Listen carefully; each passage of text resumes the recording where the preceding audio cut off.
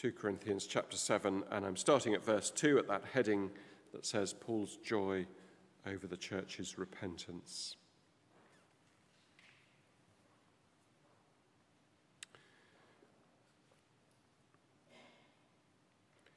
Make room for us in your hearts. We have wronged no one. We have corrupted no one. We have exploited no one. I do not say this to condemn you. I have said before that you have such a place in our hearts that we would live or die with you. I have spoken to you with great frankness. I take great pride in you. I am greatly encouraged. In all our troubles, my joy knows no bounds. For when we came into Macedonia, we had no rest, but we were harassed at every turn, conflicts on the outside, fears within. But God, who comforts the downcast, comforted us by the coming of Titus, and not only by his coming, but also by the comfort you had given him. He told us about your longing for me, your deep sorrow, your ardent concern for me, so that my joy was greater than ever. Even if I caused you sorrow by my letter, I do not regret it. Though I did regret it, I see that my letter hurt you but only for a little while. Yet now I am happy, not because you were made sorry, but because your sorrow led you to repentance. For you became sorrowful as God intended, and so were not harmed in any way by us. Godly sorrow brings repentance that leads to salvation and leaves no regret, but worldly sorrow brings death. See what this godly sorrow has produced in you, what earnestness, what eagerness to clear yourselves, what indignation, what alarm, what longing, what concern, what readiness to see justice done. At every point, you have proved yourselves to be innocent in this matter.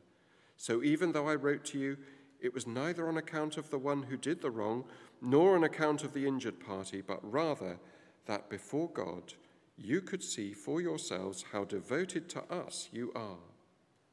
By all this, we are encouraged.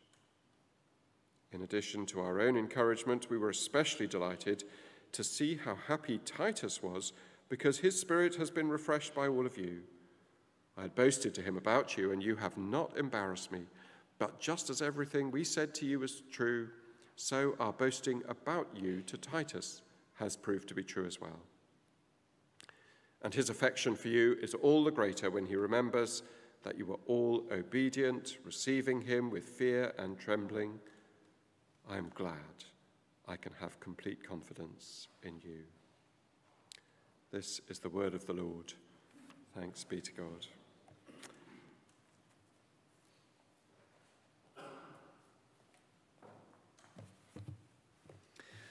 Let's pray.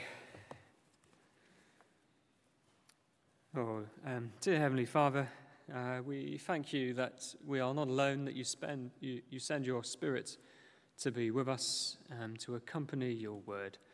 Um, please give us uh, ears to hear and please transform our lives, we pray. Amen. Um, well, oh, what a great little uh, section this is. Um, We've, this is 2 Corinthians, and we know that Paul has had a lot of back and forth with the Corinthians, and he sent them a few letters, some uh, that we do have in the Bible and some that we don't. And Paul, in this section, acknowledges in verse 8 um, even if I caused you sorrow, and he says, I see that my letter hurts you. Paul acknowledges that he sent these Corinthian people, this church, a letter, and as they read it, they felt hurt. They were hurt. And the words that is used is sorrow, or you could say uh, grief. They, they felt a grief. Um, and I, I wonder if that's a familiar feeling to you in your Christian life. Um, are you someone who has felt uh, in your Bible reading or in interaction with other Christians a feeling of sorrow about your own life, a feeling of uh, feeling hurt, even grieving your own sinfulness. Um, I've tried to think of some specific times um, that I've felt like this, and I'm, I'm, too ashamed to give specific details. But I, I do remember one time i I was about 18, new Christian, and I was on a I was on a camp, and I remember it vividly. This feeling that myself and another Christian, we were in the toilets, washing our hands together, and having a chat as you look at each other in the mirror. And he mentioned something, uh, a, way that I've been using my tongue, crude, crude joking. And he made a comment like, Do you know, is it, you've been using that phrase or word, is that a, is that a good thing to, to say? And I just felt, ugh. I just felt hurt and, uh, and, and, sorrowful about myself. Um, there have been other times in my life as well, you know, people saying, is that a, a good use of your time? Um, is your money, is that really yours? Or is it God's and you're, you're just holding on to it for a while? Um, in areas of, of sexual sin, what you think about, the way you treat members of the opposite sex. Um, it might be in Bible reading, you know, you, you come across something and it just gets you and cuts you to the heart and it, and it hurts. And it's a feeling of conviction of sin and sorrow. Um, now, uh, here's the wonderful thing about this passage is when I feel like that, um, I can admit that my heart is complex and all sorts of things flood in and swirl around when I, when I have those feelings. But Paul gives us a really helpful way of sifting those and seeing them as something that is good. And he gets to the very heart of why those things hurt. Why do we feel sorrow? And how do we understand our own hearts when we feel sorrow? Um, and what he does is he, he gives us two sort of phrases, and we can compare them. One is godly sorrow. There is a good kind of hurt that we can feel, that we can feel hurt in a godly way. There's also a worldly sorrow. There's a feeling of hurt and a sorrow that we feel that is, that is not good, um, that is not godly. Um, and just to let you know where we're going, and, and we'll attack this in two parts. Part one, we'll just think about what is godly sorrow and what is worldly sorrow. And in part two, we'll think about, uh, and this is fascinating, how our relationships with one another will be transformed if we embrace godly sorrow. And in that little section 8 to uh, 11, uh, we'll see what is, what is godly sorrow, what is worldly sorrow, and then the surrounding parts, Paul talks about his relationship with the Corinthians. Um, so, first, let's think about um, worldly sorrow. Um, I'm going to read verses 8 to 10 again for us. Even if I caused you sorrow, by my letter, I do not regret it. Though I did regret it, I see that my letter hurt you, but only for a little while. Yet now I am happy, not because you were made sorry, but because your sorrow led you to repentance. For you became sorrowful as God intended, and so were not harmed in any way by us. Godly sorrow brings repentance that leads to salvation and leaves no regret, but worldly sorrow brings death. So let's think about worldly sorrow first of all. And I think what that means is it's possible to feel sorrowful, sad, feelings of hurt about your own sin, but it doesn't go anywhere and it doesn't help you in any way. Um, now, it's complicated. I think it's possible to feel those worldly sorrow kinds of feelings alongside godly sorrow, because we're all mixed bags, aren't we? But the danger is when we feel worldly sorrow in isolation. If we just have those without godly sorrow, um, it will lead to death. Um, I've got a couple examples. Uh, the first is um, I feel embarrassed and ashamed at my sin. Maybe a Christian friend has uh, pointed something out in my life, um, and they've, it's dawned on me that they've seen it there for a long time, and maybe I haven't noticed or I've been pushing it down. And my only fault is oh, I feel so embarrassed and I feel ashamed that people have been thinking of me in that way. And my motivation then to change is just to change what other people think about me. That is not godly sorrow. Um, another example might be um, self pity. I feel really sorry for myself. Sin is often accompanied by suffering. Um, so, uh, an example to help us if a, maybe if a man uh, cheats on his wife and she leaves him, he may end up in a very sad and sorrowful situation. It's worth saying, though, that often we're our own worst enemies, and Jesus is such a Saviour that he even sympathizes with us in our suffering that is self made. But feeling sorry for ourselves alone is not godly sorrow and will only lead to death. Um, a quote from a, a, a Charles Hodge he says, Sorrow in itself is not repentance. Neither is remorse, nor self condemnation, nor self loathing, nor external reformation. So, what is godly sorrow? Um, there is a kind of sorrow that is good and godly.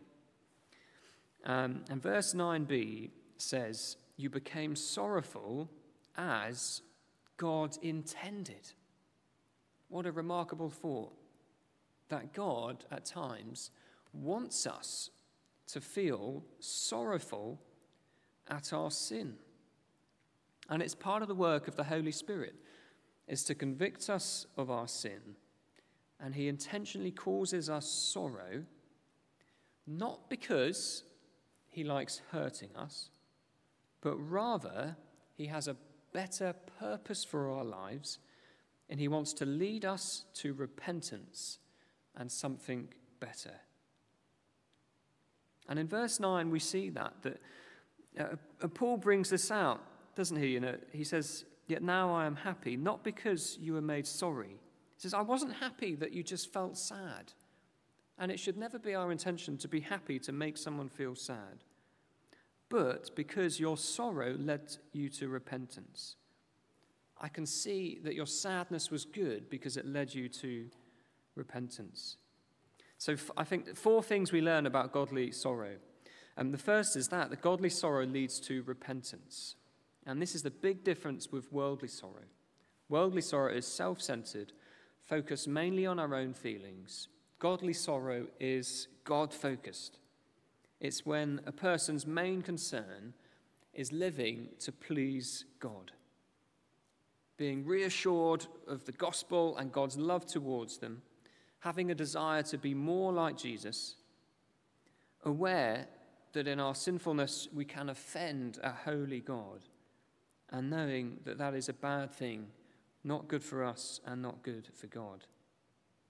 So, godly sorrow leads to repentance, it leads to changed life.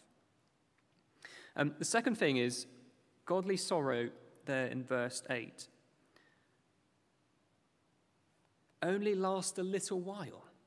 What a great little phrase. Godly sorrow only lasts a little while. Because it, if it comes with repentance, the sorrow will fade. Contrast that with worldly sorrow. Worldly sorrow lasts your entire life. You can feel bad about sin your entire life. But if you repent and believe in the gospel and come back to Jesus, and seek his help for change in repentance, it only lasts a little while. What a lovely thought. Um, here's another uh, wonderful one. Um, the third one godly sorrow, in verse 9, it does not harm you. It hurts, but does not harm.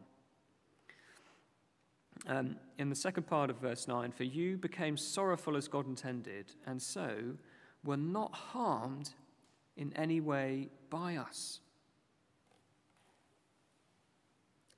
Um, this is so helpful. So some opponents of, of Christianity might say that talk of sin and not pleasing God is just going to give people a guilt complex and it's going to cause terrible damage. It's going to harm people. But no, Paul says that godly, repent, godly sorrow that leads to repentance is not harmful, but actually, it is good. It benefits you, it enables you to walk in a closer uh, way to God, and that is wonderful. Um, maybe this illustration works for you. Um, going for a run, it hurts, but it's not harming you.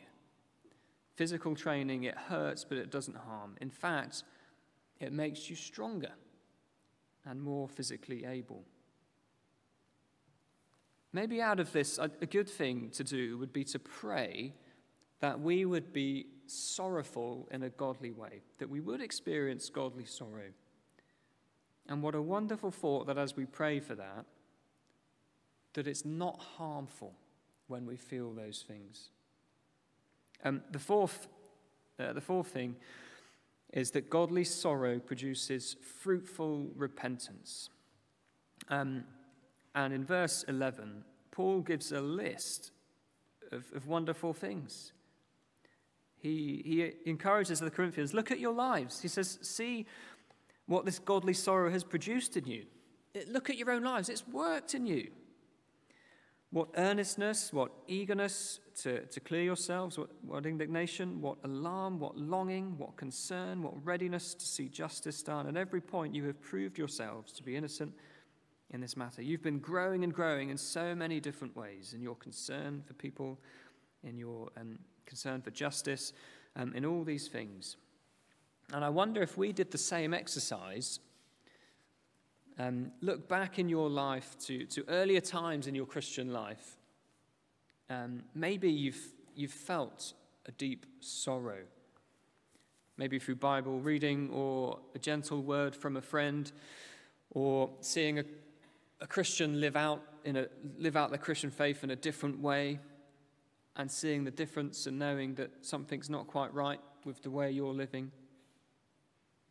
Maybe it's a feeling of a, that, that you are displeasing God in your life and it hurt. And maybe even at times drove you to tears. But in that sorrow, seeking God's forgiveness, asking Him for help with repentance, your life has bit by bit being transformed into something more glorious. I can knowing the people that I know here, I can see that all the time, and it's wonderful. Um, we'll move on to part two, and that is that godly sorrow, if we embrace this as a community, uh, as, as church, it brings transformed relationships. Um, we see that in verses 1 to 7, um, when Paul talks about his uh, relationship with the Corinthians as well as, as, well as Titus, and in the, the section at the end. um, so in verse 4, uh, Paul says, I've spoken to you with great frankness. He's, he's told them what's true, he's told them what pleases God and what doesn't. I take great pride in you. I am greatly encouraged in all our troubles. My joy knows no bounds. Can you feel Paul's affection towards them? He speaks to them in love and he seeks to stir up godly sorrow in them as he, as he points out things that, that are wrong in the church. And we've, we've covered lots of those things in previous weeks. He longs to see them grow in their faith. And he knows that the greatest love that he can love them with is to love them in repentance and faith, that their faith might grow. And he risks causing them sorrow and hurt so that they might repent more and more. Now, if you compare that with worldly sorrow, if they respond with worldly sorrow, Paul is someone who just hurts them and makes them feel bad about their sin. That would leave the door open for other preachers who use flattery and impressive words to soothe their hearers, but stirs up no repentance in them. it would easy for Paul to become the bad guy. And I think that's uh, probably what was happening in the church in Corinth. Rather, they responded with godly sorrow, and it transformed their relationship with Paul. Have a look in verse 7. And not only by his coming, that was Titus, also by the, by the comfort you had given him, he told us about your longing for me, your deep sorrow, your ardent concern for me, so that my joy was greater than ever. Can you see that wonderful relation, relationship dynamic between Paul and the church? Paul stirred up godly sorrow in them. The church received that as Paul's love for them. Um, through the gospel, they repented and they grew in their faith. And in return, they loved Paul and longed to see him because they knew that he would speak truth into their lives. And they knew that his concern and love for them was genuine. And, and then that meant that Paul's joy grew, and he was all the more encouraged to minister to them. Um, we see a similar story with Titus. Um, he was greatly encouraged in, uh, in receiving this news. um, in verse 15, and his affection for you is all the greater when he remembers that you were all obedient, receiving him with fear and trembling. And receiving Titus, it doesn't mean that they were fearful of Titus, it meant that they received him and his teaching um, uh, with a right reverence and fear and with trembling. Now, the question for us is how do we grow in our godly sorrow? Wouldn't that be a great thing to grow in as Christians? And if I'm honest, um, when I'm convicted of sin, I think my greatest and, and quickest form of sorrow is usually worldly sorrow. Um, I think, who else knows about this? Um, I feel embarrassment and shame. Um, I think my other, my other quickest thought is just, I just don't like the feeling of sorrow. It hurts, and I want it to go away. And I find it, it hard not to go to self pity um, really quickly. But I, I think this is something to, to pray for and ask for God's help in. I keep coming back to Psalm 51.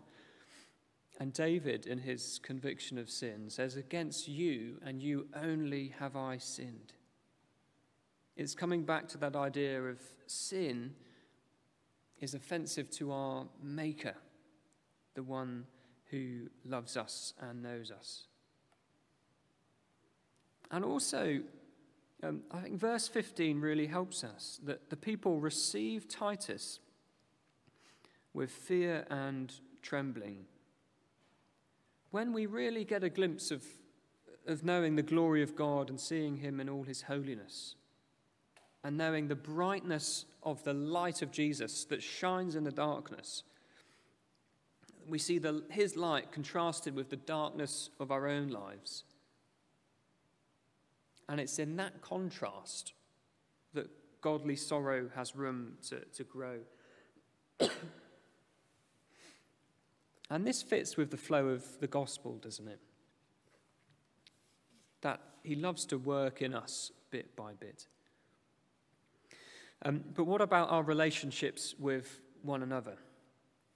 Um, and I've got lots of questions about how we stir up godly sorrow in, in one another. It's worth thinking about. And maybe a good question to ask each other is tell me examples, and I would love to hear this from you Tell me examples where people have done that really well in your life, Christian friends. Tell me examples where people have done that really badly in your life. Um, and I, I think a, a, couple little things that we can take from this.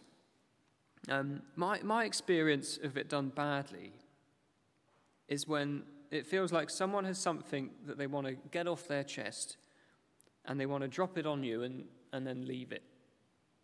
And it's not open for discussion again. And that always leaves me in a place thinking, I don't really know what they meant. And it leaves me second guessing. and I, I want to grow, but I'm not quite sure what the issue is. Um, better, the good examples for me have been uh, in pre existing relationships where I, I know I'm loved. And I know where the person shares my desire to please God.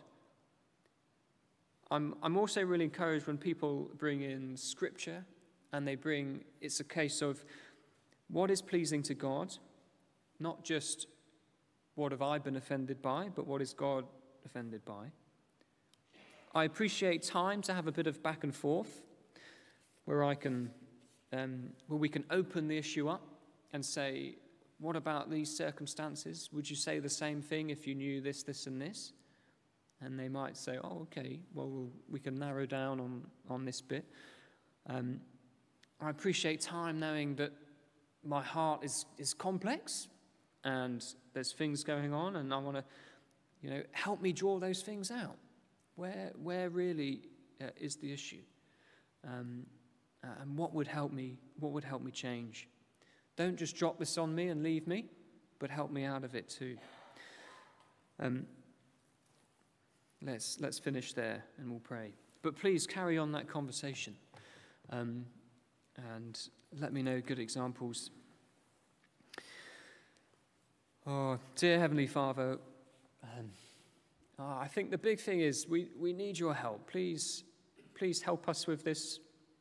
Um, please put in us a desire to grow in faith and repentance, that we might welcome your Spirit into our lives to shine light in the darkness, that we would welcome those thoughts that show us our sinfulness and as you do that in us, Father, we pray that you would give us the strength to repent.